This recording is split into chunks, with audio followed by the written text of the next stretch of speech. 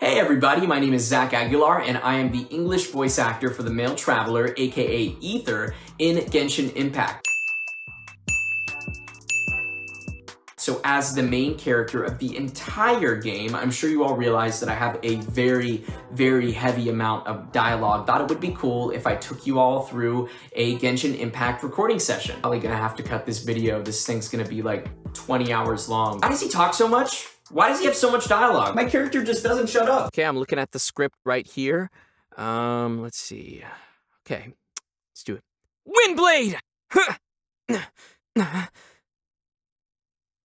Wait. Wait, what? What do you mean that's it?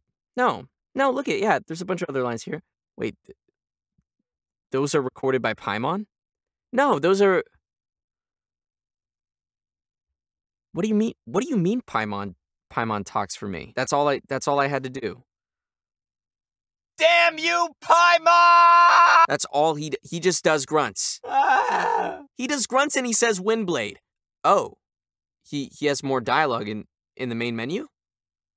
I'm going to I'm going to come back to do that. Oh.